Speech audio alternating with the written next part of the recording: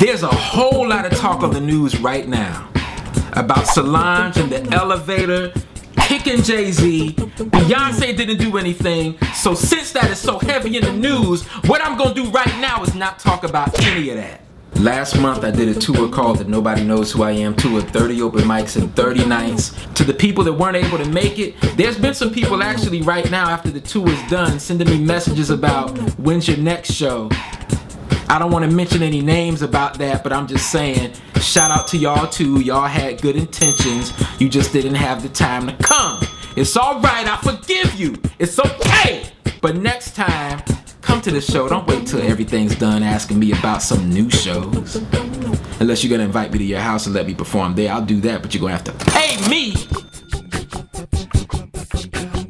On March 29th, I was invited to be a keynote speaker at an award ceremony for middle school and high school students, and I get a chance to talk to them about 52 Weeks to Fly. I'm so used to sitting back and waiting until a person has figured out everything and then they tell me what to do and then I try to learn from their life and do it too. But I get a chance to talk to people while I'm still trying to figure out life.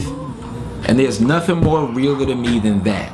What happens on the journey itself, not man, I remember back when I was on the journey that y'all were on. I know how it was. I can relate. It's like, nah, I'm on the same journey.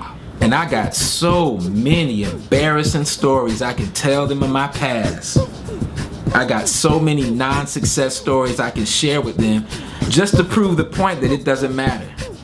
The past doesn't matter at all. What matters is what you do right now. And there's only one person that can keep you accountable, and that is you.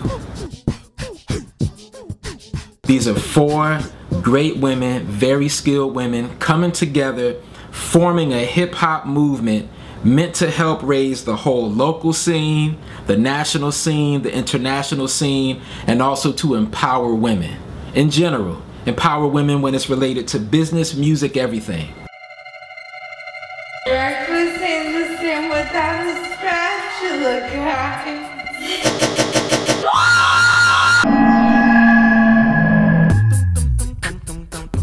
To Hip Hop Romantics for writing one of my favorite blogs about the tour I was just on. So insightful, so humbling to read something like that. And also check out the rest of what she's doing there. It's just so much support coming from right here in South Florida.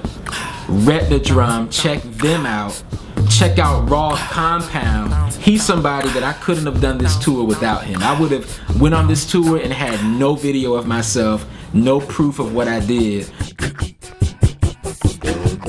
What are you willing to do that you've never done before to get what you want?